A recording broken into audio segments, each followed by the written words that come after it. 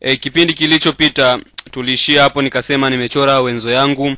Baada ya kuchora wenzo yangu nikawambia kwamba wenzo yangu hapa nikachora na egemeo nikawambia kwamba umbali wa ndani tukizidisha na nguvu ya ndani sawasawa na nguvu ya nje tuzidishe na umbali wa nje.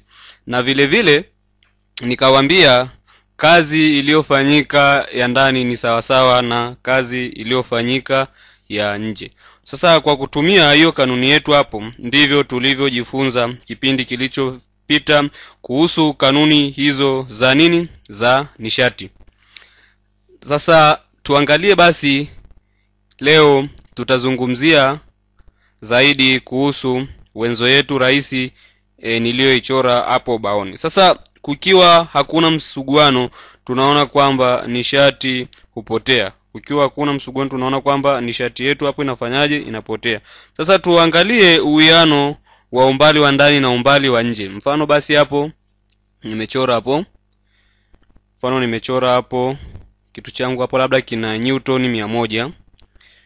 Changu baada ya kuchora kitu changu kenye uzito wa newton mia moja labda ngoja nichore hapa chini vizuri. Najua mimi sio mchoraji mzuri ngoja nichore hapa chini vizuri. Kitu changu hicho kina uzito wa newton mia moja. Baada ya kuwa na uzito wa newton mia moja labda tuseme kitu changu hichi hapo nikakipa labda nikakipa umbali wake.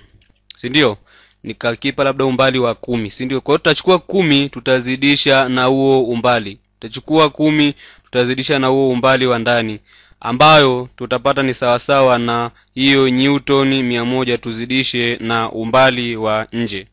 Sasa mfano hapo tumechora egemeo letu na tuna umbali wetu hapo. Tuseme labda ni umbali wa ndani na huku chini ni umbali wetu wa nje. Kwa hiyo baada ya kuzidisha hapo baada ya kuzidisha hapo tuseme hapo tutapata tukigawanya kwa kwa hiyo kumi kila upande hapo si ndio? Kwa umbali wa ndani ni sawasawa na kumi umbali wa nje. Umeona? Sasa tunaona hapo tuseme labda umbali wetu kutoka hapo kwenye egemeo mpaka huko kwenye uzito wetu labda tuseme ni mita tano. Na umbali wetu wa ndani mpaka kufikia hapo kwenye egemeo labda tuseme ni ngapi? Ni mita ngapi? Mita hamsini kwa hiyo hii mita hamsini imepatikana baada ya kuchukua tano tukazidisha na huu uzito wetu tuliopewa ambao ni kumi. Kwa hiyo tano mara kumi ndio tukapata hamsini. Sasa mfano labda tukaongeza tena uzito wetu katika upande wa kulia wa newtoni kumi. Tukaongeza uzito wetu wa newtoni kumi. Hii inaongeza uzito wa newtoni kumi ili niweze kuongeza nguvu kwenda chini ili niweze kunyanyua huo mzigo wetu. Kwa hiyo baada ya kuongeza nguvu kwenda chini naona huo mzigo wetu upande wa kulia utaweza kufanyaje? Utaweza kunyanyuka. Huo mzigo wetu utaweza kunyanyuka. Hii ni kwa sababu tumeongeza nguvu zaidi upande wa wa kushoto huku kwenye hii newton kumi. Ndiyo maana tukaona kwamba mzigo wetu ukaweza kufanyaje? Kunyanyuka. Kwa hiyo kazi iliyofanyika ndani ni sawasawa na kazi iliyofanyika nje. Menelewa paka hapo? Kwa hiyo basi nataka kujua ni jinsi gani huo mzigo wetu sindio ni jinsi gani huo mzigo wetu sasa hapo wa upande wa kushoto unaweza kunyanyuliwa. Kwa hiyo tuta ngoja nifute hapa ili niweze kuwatolea mfano mwingine mrahisi ili muweze kuelewa. Nifuta ubao wangu hapo kama inavyoonekana. Baada ya kufuta ubao wangu hapo e, mfano labda hapa miso mchoraji mzuri ngoja nichore vizuri tena. Ngoja niweze kuchora vizuri mni, ili mnielewe. Nimechora hapo. Nimechora mstari wangu kama unavyoonekana hapo. E, baada ya kuchora mstari wangu baada ya kuchora mstari wangu labda niseme hapo na egemeo. Niseme na egemeo langu hapo. Baada ya kuwa na kuchora mchoro wangu na kuwa na egemeo niseme labda na nguvu ambayo kwamba na ngu, hii nguvu yangu labda niseme niiweke wapi ili iweze labda niiweke upande wa kulia hapo nguvu yangu ambayo inasukuma kwenda chini si ndio? Alafu labda hiyo nguvu hapo baada ya hiyo nguvu yangu niseme labda umbali kutoka kwenye gemeo mpaka upande wetu wa kulia ni thelathini na tano. Na huku kutoka kwenye gemeo kwenda upande wa kushoto labda niseme ni tano mita si ndio?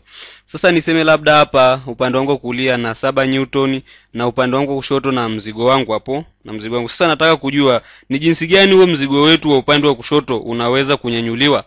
Ni jinsi gani basi huo mzigo wetu wa upande wa kushoto unaweza kunyanyuliwa?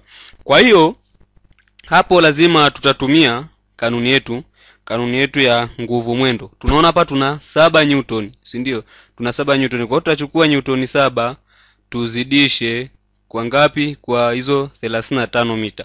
Lakini hii siyo hamna kazi inayofanyika. Hii kwa sababu tunaona kwamba kwenye hii saba newton ni nguvu inayekuja chini na hii thelathini na tano ni umbali. Kwa hiyo hamna kazi iliyofanyika hapo. Sasa basi hapo tukizidisha hapo baada ya kuzidisha hapo tunapata ni sawasawa tukizidisha saba mara thelathini na tano tunapata ni sawasawa kumbuka huku kuna mita tano tulipewa mita zetu tano umeona?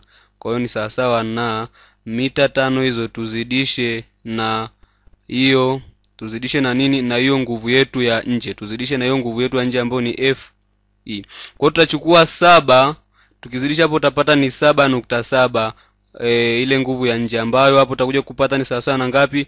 arobaini na tisa newton saba mara saba. Sawasawa na ngapi? Na arobaini na tisa newton.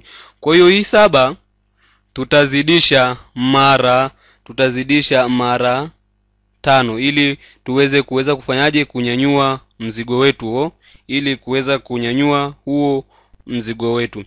Kwa hiyo hii saba tutazidisha kwa hiyo tano tutazidisha kwa hiyo tano ili tuweze kunyanyua mzigo wetu. Tunaona tunavyoongeza si ndio? Umbali au huo urefu wetu kutoka kwenye wenzo ni saba newton tutazidisha urefu